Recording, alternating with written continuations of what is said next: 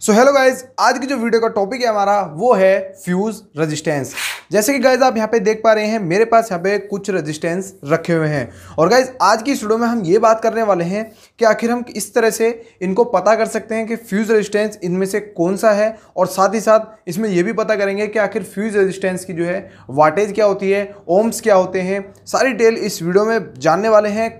हमारे कुछ सब्सक्राइबर भाई के कमेंट्स आए थे तो ये वीडियो जो है उन्हीं के लिए है।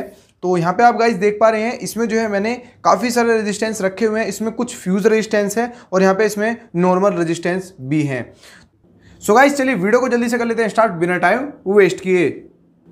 गाइज़ चलिए सबसे पहले तो हम इसमें ये जानते हैं कि आखिर इन सभी में से जो फ्यूज रेजिस्टेंस है, वो आखिर कौन से हैं और आप उनको किस तरह से इजीली पता कर सकते हैं। तो गाइज़ चलिए सबसे पहले मैं आपको जो है इनको थोड़ा जूम करके दिखाता हूँ।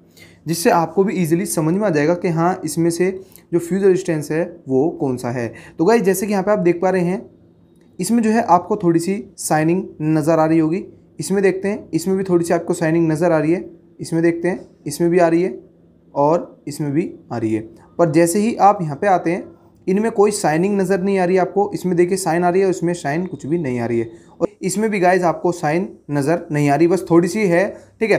तो चलिए अब हम इसको किस तरह से पता करें कि आखिर रेजिस्टेंस फ्यूज़ वाला कौन सा है? तो सिंपल अब आपको इसमें यह देखना है, जिसमें साइन नहीं है, हमारी इनमें साइन नहीं है तो मतलब कि ये जो है हमारा यहाँ पे फ्यूज़ रेजिस्टेंस है। और जो जिसमें साइन आ रही है, ये हमारा फ्यूज़ रेजिस्टेंस ये हमारे इसमें से कोई भी फ्यूज़ रेजिस्टेंस नहीं है। तो सिंपल आपको गाइज़ ये तो पता चल गया कि आखिर फ्यूज रेजिस्टेंस की किस तरह से पहचान की जाती है। नॉर्मल सी बात है, जिसमें साइनिंग नहीं है, वो आपको यहाँ पे फ्यूज रेजिस्टेंस है। चलिए मैं आपको एक एग्जांपल देके समझाता हूँ, इसको थोड़ा साइड रखता हूँ। और अब मैं जो है इस एलईडी बल्ब है मेरे पास, इसको ओपन करके दिखाता हूँ आपको।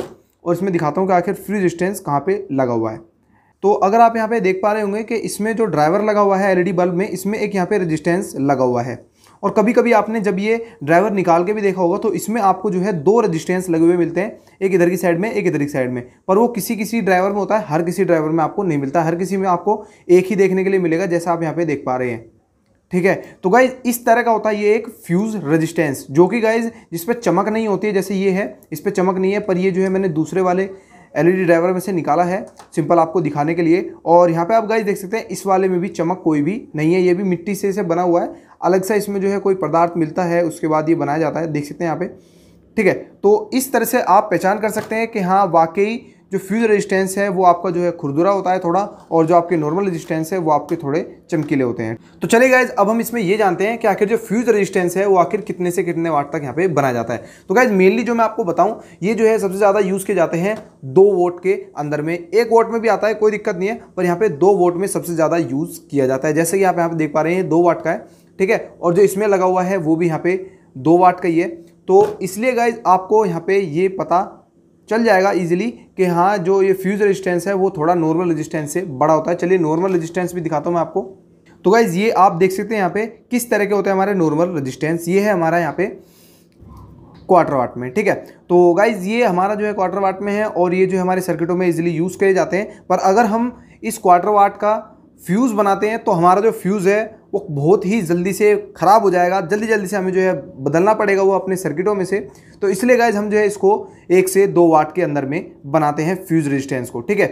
तो आई होप आपको ये जो चीज़ें हैं, ये समझ में आ रही होगी। अब आप गाइज़ यहाँ पर देख सकते हैं, एक मैं प्लेट दिखाता हूँ आपको। इसमें भी काफ़ी जगह जो है फ्यूज़ रेजिस्टेंस लगाए गए हैं अलग अलग कंडीशन के हिसाब से। तो जैसे कि आप यहाँ पर देख पा रहे होंगे कि एक यहाँ पर ये लगा हुआ है और दूसरा अगर मैं आपको यहाँ पे दिखाऊँ तो एक ये यहाँ पे ये वाला भी लगा हुआ है, देख सकते हैं यहाँ पे? थोड़ा जूम करता हूँ। हाँ तो यहाँ पे आप गाइज़ देख सकते हैं, ये वाला भी है, एक फ्यूज रेजिस्टेंस तो गाइज़ इस तरह से ये जो है यहाँ पे एक से दो वोट तक में ही बनाए जाते हैं। ज़्यादातर मेनली तो इसमें बनाए जाते हैं इससे ज़्यादा हो वो मुझे नहीं पता, ठीक है? अब आप यहाँ पे देखिए कि आखिर इसके जो ओम्स है, वो आप किस तरह से पता कर सकते हैं। तो गाइज़ मेनली ये जो है पचास ओम के अंदर में ही ये रेजिस्टेंस बनाया जाता है, उससे ऊपर भी बनाया जाता है, पर वो बड़े सर्किटों में लगता है, जैसे कि यहाँ पे आप देख पा रहे हैं। इस तरह का ये कितना बड़ा है, और यहाँ पे ये जो है दो वोट से ज़्यादा ज़्यादा का लग रहा है मुझे ये, और ये पीसीबी भी काफ़ी बड़ी है। और गाइज़ ये जो रेजिस्टेंस है, ये मेनली जो है ओम्स में आपके यहाँ पे 50 ओम से ज़्यादा नहीं बनाए जाते। मेनली तो 50 ओम्स में ही बनाए जाते हैं ज़्यादा में बनाए जाते होंगे तो बड़े सर्किटों में लगते होंगे। जैसे कि अभी मैंने आपको जो है एक पीसीबी का एग्जांपल दिया है।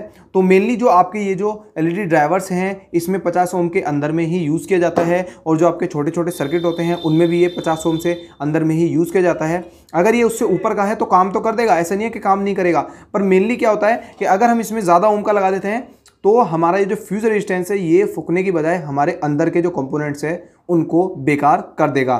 मेनली ये जो है, इसलिए ही इसको कम ओम में रखा जाता है, जिससे कि अगर लाइट ज़्यादा आए तो ये जो है एकदम से हमारे किसी और कंपोनेंट को नुकसान ना करके ये पहले ही डेड हो जाए, जिससे हमें जो है इसको रिपेयर करने में भी ज़्यादा टाइम ना लगे और जल्दी से हम इसको रिपेयर करके और कॉस्ट भी कम लगती है इसे लगाने में। तो इसलिए जल्दी से इसके लगा के और सिंपल हम जो है अपने और सर्किट को यहाँ पे प्रोटेक्ट कर लेते हैं। तो इसलिए गाइज़ ये जो है मेनली 50 ओम्स में ही ज़्यादातर बनाए जाते हैं।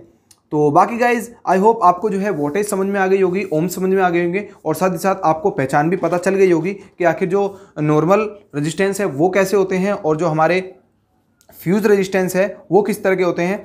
तो बस गाइज़ अगर आपको ये वीडियो अच्छी लगी हो तो प्लीज़ यार वीडियो को एक लाइक ज़रूर कर देना और साथ ही साथ चैनल के ऊपर नए हो तो चैनल को विज़िट ज़रूर कर लेना। विज़िट करने के लिए बोल रहा हूँ सब्सक्राइब करने के लिए नहीं बोल रहा हूँ। बाद में अगर आपको चैनल अच्छा लगता है तो ही सब्सक्राइब करें, वरना मत करें।